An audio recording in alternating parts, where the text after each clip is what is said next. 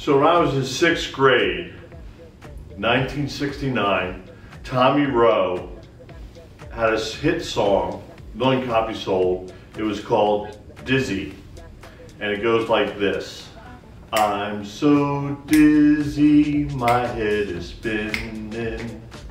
Like a whirlpool, it never ends. I'm so dizzy. And that was the song. And I have a gyrostim. And ever since I have a gyrostim, I walk in the door and that song comes to me after all these years. So this is a gyrostim. It's been FDA cleared as a breakthrough device for balance disorders and vertigo.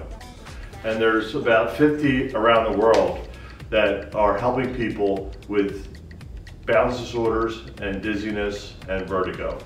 So if you have dizzy, which is that whirlpool spinning in your head, that's what you feel all the time. Motion sickness in a car, you feel like you're gonna fall, feel like you're gonna pass out, you get nausea, anxiety, and we put you on Gyrostim and we'll get you feeling really well. Thank you.